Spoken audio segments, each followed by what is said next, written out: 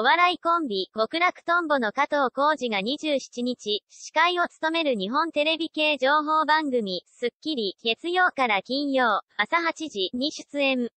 俳優の中村智也と同局の三浦麻美アナウンサーが25日に結婚を発表したことを受け、二人の交際期間を明かしていた。加藤浩二、三浦麻美アナの結婚相手に驚き、三浦アナは同番組のサブ司会を2021年3月まで担当しており、番組でも冒頭から三浦アナの結婚を祝福。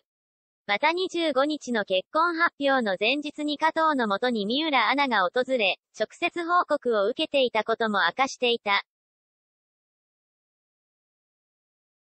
その際、加藤は冗談で結婚って聞いたら、そうです。ってなって、と振り返り、三浦ちゃんってそういう、結婚の、イメージがなくて仕事ってイメージだったから、と突然の結婚発表に驚いたとコメント。結婚の相手については加藤が、僕が知ってる人ですか？ととうと、三浦アナは、多分知ってると思います、と答え、スマートフォンで見せられた中村の写真に驚き思わず大きな声を出してしまったと話していた。そして三浦アナに交際期間を尋ねたという加藤は、2年くらい前からって言ってたかな。